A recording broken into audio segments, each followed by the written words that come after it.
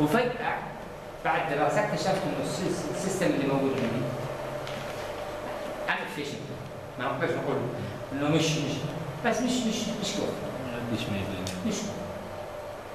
إذا كان أنا فشلت إيش اللي بنعمله إحنا؟ لازم يحصل تغيير. حنضطر نلجأ إلى عملية التطبيق. طيب. هل زي ما عملنا في الجامعة كده. نروح نجيب شركه خلاص آه، عملية التغيير لازم تكون مدروسة. عملية التغيير نفسها محتاجة. الإدارة. كنترول. محتاجة مانجمنت المانجمنت كنترول يبدأ من الأساس في الابلاي يعني أنت تقدم طلب قسم مختص في التغيير. تغيير شيء. طلب يقول أنا أريد هذا الطلب يدرس. وهل فعلا؟ عنده حق ولا ما عندوش حق؟ وبعد ذلك إذا عنده حق توديه كتالوج يعني حيدخل الكتالوج ويدخل ضمن الأهداف اللي أنا طيب. أريدها. في التغيير يعني كل واحد حيعطي لي أهداف التغيير كذا وحاعمل كتالوج في هذا. طيب. وبعد. ذلك تعمل scheduling عشان نشوف من الأول الأهم في الأهم. هعمل scheduling وامشي وبعد كده بعمل implementation وبعد كده بعمل reporting بعد ما أعمل implementation بعمل reporting عشان حاجة واحدة. حقق انه الغرض أول شيء. ال evaluation process قبل تتم في ال reporting أنا كانت اهدافي كذا في التغيير وصلت إلى هذا التغيير وحصلت على اهداف كذا وطلع نجحت الخطه بنسبه كام؟ هذه العملية المدروسه يجب ان تتم تحت تغيير أو تحت اداره التغيير.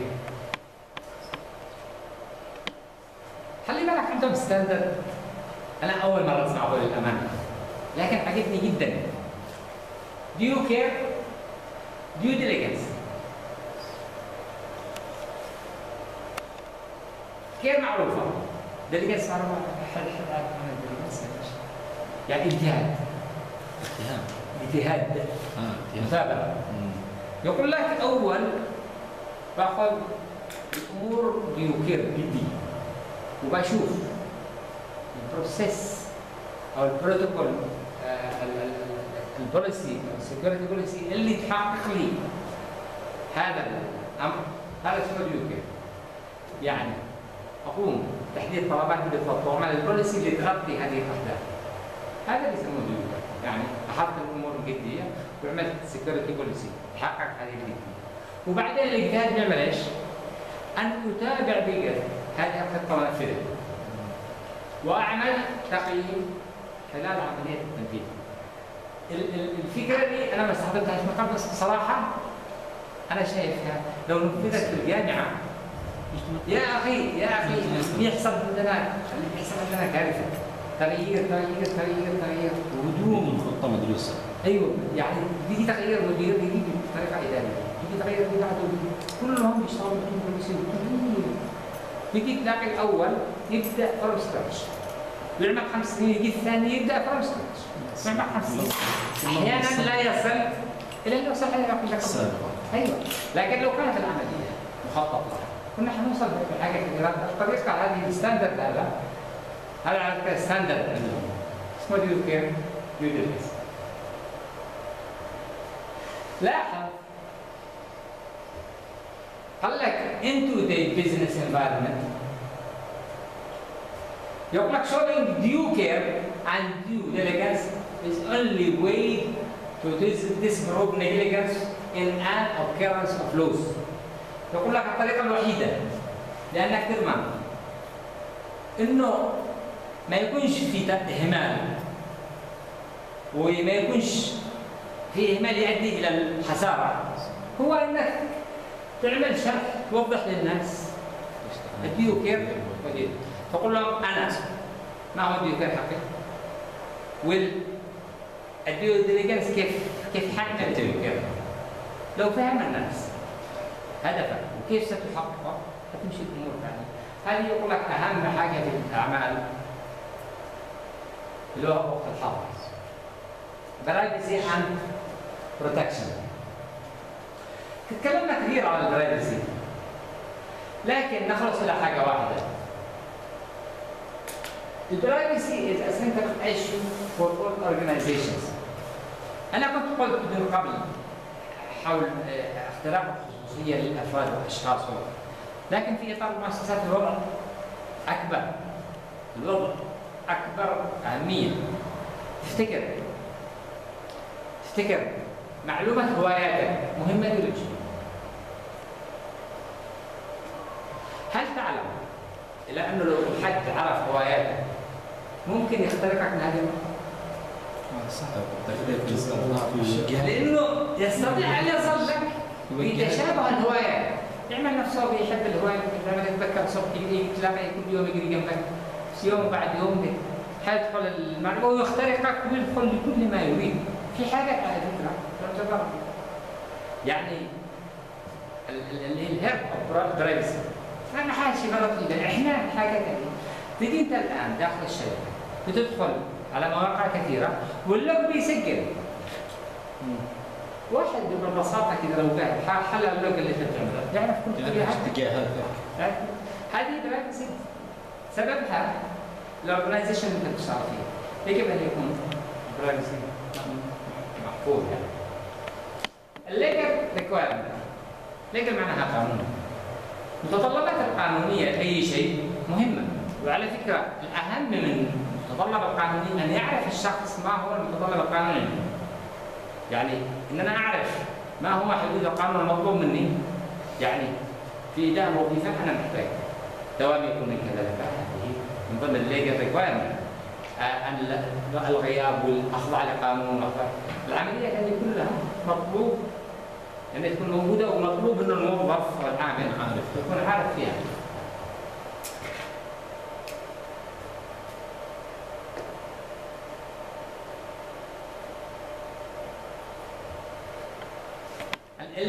activities طيب كيف طريق ال login كل ما يتعارض كل ما يتعارض مع ال legal requirements يعتبر illegal activity أنا الآن معاك. كل حاجة تعملها ضد هذا ال legal requirements ضد متطلبات القانون فانت الواقع تعمل illegal. ال record retention retention معناها الاحتفاظ هذه من ضمن المسائل اللي تخص ال privacy كمان يا ترى لو أنت تشتغل بشركة وقالوا لك إحنا بيانات الموظفين حقنا عند مالك ال software شركة فلان. شركة يمن soft. إحنا بنستخدم برنامج يمن soft for payroll والبيانات عندهم. يا ترى حتوافق أنت إنه تدخل والبيانات؟ عن شركه سيارة سوفت وير المسألة دي مسألة حاسمة على فكره أين ومتى وكم وكيف تحتفظ البيانات؟ يجب أن يكون الموظف أو العامل مطلع عليها. ضروري توضح المؤسسة. بياناتك فين؟ ومحتفظين فيها لأي مدى؟ انت استقلت بعد ما تستقيل حتبقى بياناتك في ال backup بياناتك في ال backup ولا لا. أي حاجة هذه يجب أن يكون بالضبط معروفة. فهو بيقول لك إنه what information is maintained and for how long يعني أي بيانات محفوظه على لمدة كم؟ هذه الأمور على فكرة ضمن الحاجات اللي لو رأيت إلى أن ال record حق الموظف اللي عندك بيخترق خصوصياتك لا لا تسمح باعطاء بيانات يعني أنا استغرب بعض أنظمة البيت يقول لك هتحدد لي اعطيني اسم الزوجة واسماء الاطفال تمام يعني هل عندك insurance حتعطي لي مثلا insurance معينة؟ تعطيهم ضمان اجتماعي مثلا ولا لا؟ ليش ليش تاخذ ليش تاخذ بعض البيانات على فكرة تعتبر غاية في الخطوره بالذات في المجتمع اليمني. غاية في الخطورة في المجتمع اليمني. الدخول في المسائل الاجتماعيه لأن قد تؤدي إلى قتل. هو بي بي بي بيجب أنه يكون مقننة إلى أي مدى؟ هذه البيانات متاحة أو غير متاحة؟ انت كإنسان كموظف؟ من حقك. حتى لو ما كنت موظف كإنسان من حقك أن تحتفظ ببعض البيانات اللي تراها قريب إيش عمل تخيل يا تخيل لو أنا مثلا موظف تمام؟ وبقول بحسن اسم بنتك ولا وأنا مثلا شيء اضرك راح احتفظ في المدرسة لو أنا ما كنتش عارف اسم بنتك ولا ما كنتش أساسا بقدر في حاجة. أنا أقصد هذا بس مثلا لكن ال- الاختطاف بي- بيقرب القانون. لكن ممكن يعمل حاجة القانون ما يقربهاش آه، لو دخلت فيما دخلنا فيه حتعرف إنه حتى ذكر اسم مطعم لأنه آه، لقينا حاجات آه، في حياتنا الوظيفيه ال sensitive information and media يشتغل بالمجال ال information security بعض الأحيان المجال يخاف من كل شيء. لا لا ال- العملية على فكره أيوه أيوه مخيفة بكده يا أخي عندنا مشكلة. قوانين في أوروبا تحمي الفرد. أيوة. أنت في مجتمع؟ ما مش قادرين يحميك أنت يجب انك تكون وزير داخليه وأنت يجب انك تكون وزير كهرباء ووزير مياه. ما تجيب نفسك ماء وكهرباء وتجيب نفسك أمن وتجيب نفسك دفاع. يعني يعني آه، المساله ما يجب من- انك تعمل حكومة كده ويكون عندك decision making system يعني ال sensitive information and media المقصود بالميديا هي وسائل تخزين الميديا هي وسائل تخزين. نرى كيف متشددين في هذه النقطة؟ في ال theoretical ال media مقصود فيها devices for storage of data. For to store data. To storage of data. هذه الميديا المقصود فيها هنا. هذه. طيب هذه لو كانت بس store data. لكن ما بالك لو كانت information المسألة تؤخذ بعملية أكثر دقة. هل تعلم أن بعض الناس بياخذوا ال backup خزائن ما تفتح حتى بال RPG صدق backup بيانات عملاء backup وبيحطها في خزانة قياس الشركة. يعني يعني اهم من المال نفسه. أيوه يعني في حاجات من البيانات ال sensitive هذه في حاجات كثيرة ما بالك لو تهربنا الضرائب marking label ال media حتقول لي هذه التفاصيل ما لهاش معنى. لا على فكرة لها معنى وأحيانا يكون لها معنى كثير marking label يعني إيش؟ أنا ال tape اللي عندي؟ وأنا محتاج اكتب label I have to label الميديا هذا ال tape اللي عندي؟ تخيل.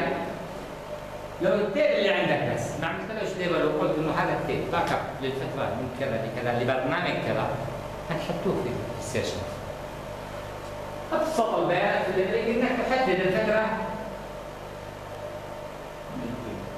في ال system. هل انت؟ لا ما بالك؟ لو كانت موازنات وأشياء خاصة وأشياء وتحويلات المسألة دي زي ما يكون ال label مفيد زي ما يكون ضار في حالة الاختراق. انه الطريقة يعرف يعرف الغث من السمين. يعني عشان كده هو بيفترض إنه البيئة دي حتكون آمنة جدا. ال handling of media لما يكون بالمكان اغلب الاحيان تكون physical security أكثر مما ال- أيوه هي هي هي هي الآن. إحنا بنتكلم على operational أو operation security يعني آه، آه، اللي هي حماية التشغيل. حماية التشغيل اليومي الشغل اليومي. لو حندخل في هذه جانب الموظفين بس تخيل انت الان عندك ميديا ومش عارف آه، أبعاده. إنه يكون عندك كل الأبعاد. عملت تبريد وهذه عملية سهلة. ال handling يا ترى لو عندك الحين hard disk حتاخذه كذا؟ لا.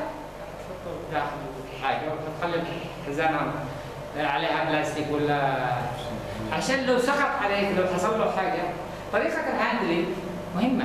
الشيء الثاني تخيل لو أنت عندك tape وداخل في مجال مغناطيسي كبير يجب إنك تعرف إنه هذه الوسائل.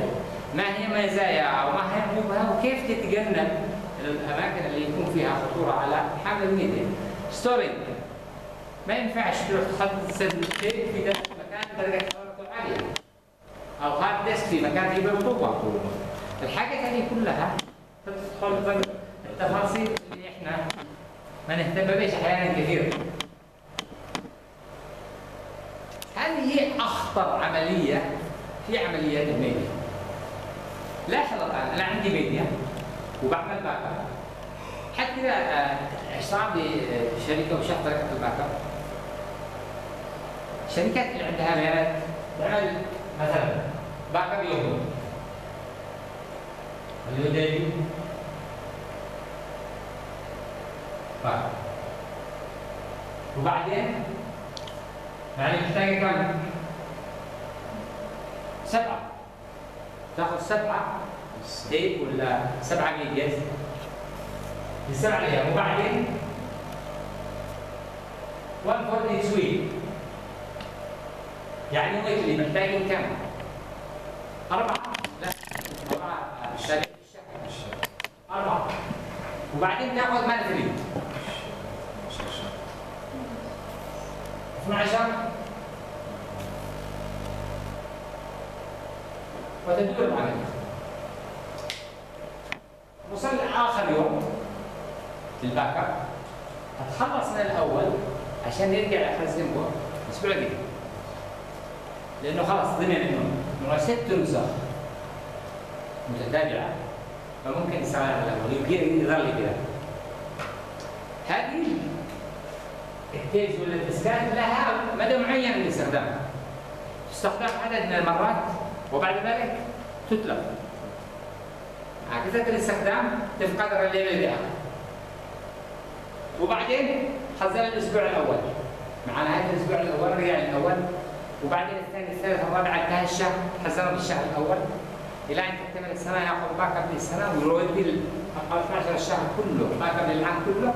وياخذ ويرجع العملية للسنه اللي بعدها. على هذا لاحظ الان هذه لو إحنا قلنا إنه 12 مره تستخدم تخيل كم عدد الـ medias البعض الآخر بيأخذ backup device كبير ويعمل فيه. هذه فيها خطوره شديده لو هذا الـ device كان بيتخرب خلص راحت كل شيء. راحت كل شيء. هذه الرد الاستراتيجي اللي بيحدد هذه العملية الـ security policy اللي انت حاطها بالنسبة للباك أب. الباك أب بيدخل في الـ security policy لاحظ إعادة الاستخدام الآن. يقول لك إنه بعض الـ backup devices can be used 3 to 10 times يعني تستخدمها من ثلاث ل 10 مرات بس وبعد كده تتلف. تتلف.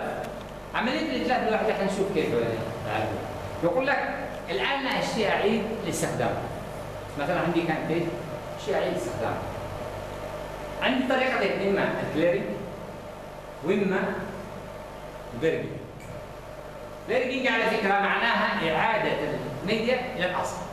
كنا زمان إحنا نقول عندك format وعندك hardware format كانت الأجهزة القديمة.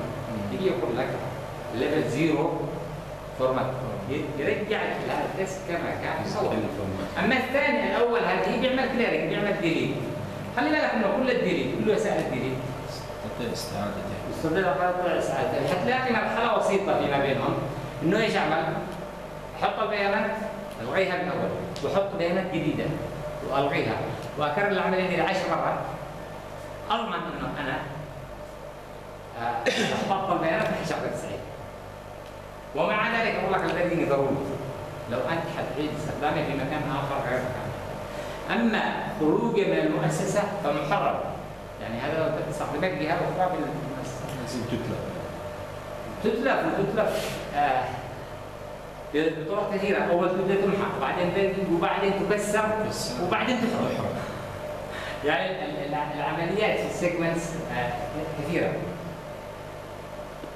لاحظ الريز في ريموت ماجنتايز داتا اسمها ريمانس ريمانس معناها إيش؟ إنه الغي المغناطيسية للهارد ديسك ولا الديسك ولا تلفه تتلفه. بس مش تتلف المغناطيسية اللي فيه. هذا قبل عملية الإتلاف. وبعدين تعرض للإتلاف النهائي. تدخل في العملية هذه عدة خطوات.